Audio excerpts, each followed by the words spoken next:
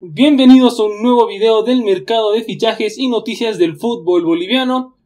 Vamos a comenzar hablando del Club Bolívar. Fernando Saucedo es nuevo jugador de la academia. El equipo presentó al medio centro de 32 años proveniente del Club de Strongest.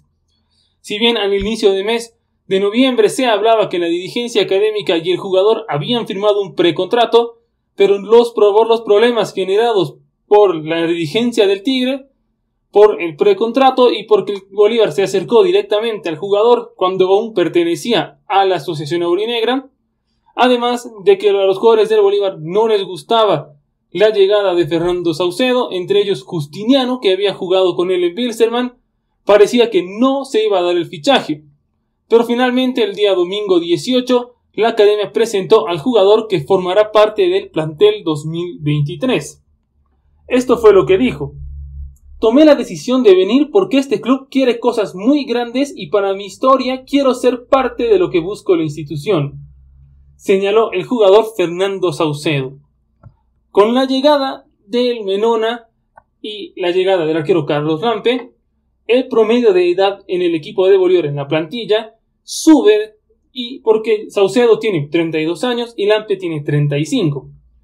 Ellos se suman a los jugadores de 30 años o más como Leonel Justiniano, que tiene 30, Diego Bejarano de 32 y Patricio Rodríguez igualmente de 32. También habló Luis Aquín, el defensor, y dijo, estoy contento por ser parte de este plan ambicioso. Eso quiere decir que hice bien las cosas en la anterior temporada.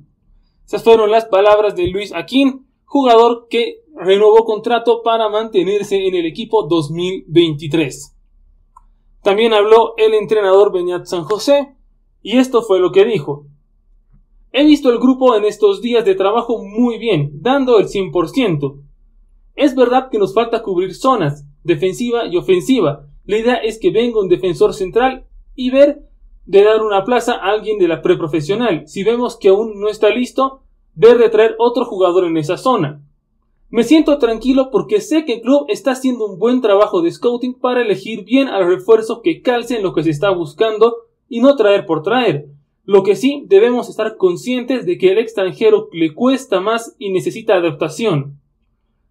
Habló también del caso de Gabriel Villamil. Yo cuento con Villamil, pero entiendo que es un gran jugador y no le deben faltar opciones para salir. Pero es un jugador que le falta aún mejorar ciertos aspectos. Pero está en mi planificación del año. No hemos definido dónde se hará la pretemporada aún. Quizás sea en Argentina por la cantidad de canchas que tienen pero también hay la opción en Brasil. Esas fueron las palabras de Beñat San José. Lo de Villamil, si bien San José lo quiere, igual está abierta la opción de que venga algún equipo y que si quiere llevárselo, Beñat San José va a analizar la situación y si también favorece y el jugador quiere irse, Beñat no lo va a retener para que también tenga un poco de juego internacional. Pasamos a hablar de Oriente Petrolero. Cristian Álvarez llegó a la ciudad de Santa Cruz y hoy comenzó con el entrenamiento para la pretemporada con el equipo albiverde. La pretemporada se jugará en Chile. El primer partido será el 5 de enero frente a la Universidad Católica y el 8 de enero frente a Ñublense. Repetimos que los dos partidos se jugarán en Chile. Pasamos a hablar del tema de los jugadores. Facundo Suárez no continuará en Oriente Petrolero. El goleador del cuadro verdolaga no aceptó la propuesta de la renovación. También habló el entrenador Erwin Sánchez y dijo que el año 2022 fue positivo para el club verdolaga. Esto fue lo que dijo. En términos generales podemos decir que el balance del 2022 es positivo por las señales que tuvimos. Obviamente no terminamos el torneo por diferentes motivos, en la posición expectante de la primera parte.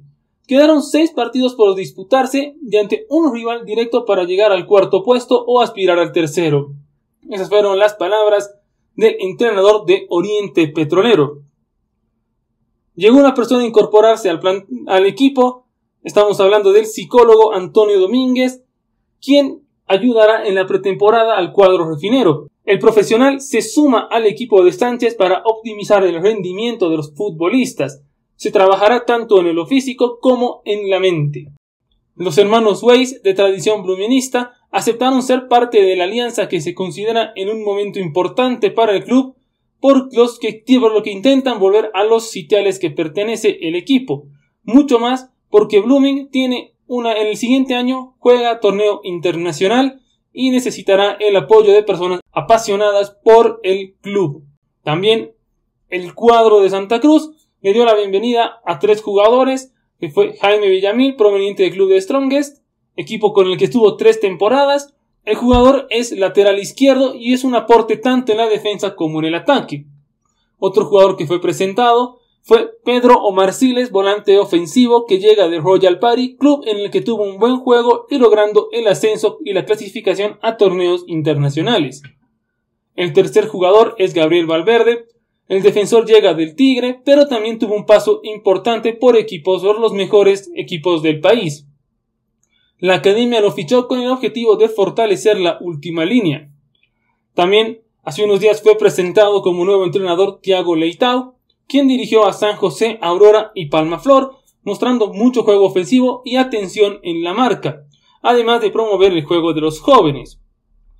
El proceso de pretemporada comenzó hoy, lunes 19 de diciembre, a las 15 horas. Los jugadores se presentaron en la sede del club para que realicen las pruebas médicas correspondientes.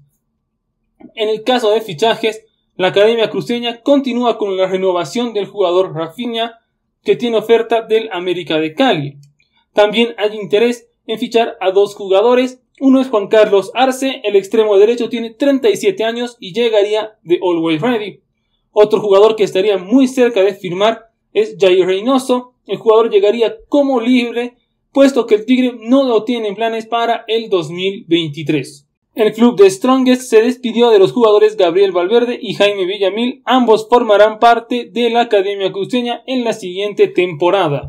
Pasamos a hablar de Gran Mamoré. El equipo presentó el fichaje de Juan Pablo Pérez. El argentino boliviano juega de mediocampista pivote y tuvo paso por el fútbol boliviano. Jugó en Aurora, Always Ready y equipos de la Copa Simón Bolívar.